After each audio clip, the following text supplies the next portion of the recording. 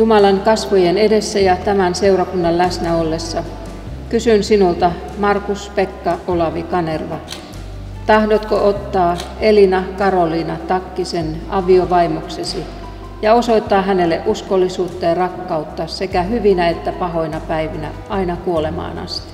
Tahdon.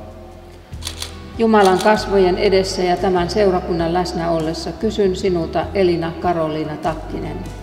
Tahdotko ottaa Markus Pekka Olavi Kanervan aviomieheksesi ja osoittaa hänelle uskollisuutta ja rakkautta sekä hyvinä että pahoina päivinä aina kuolemaan asti? Tahdon.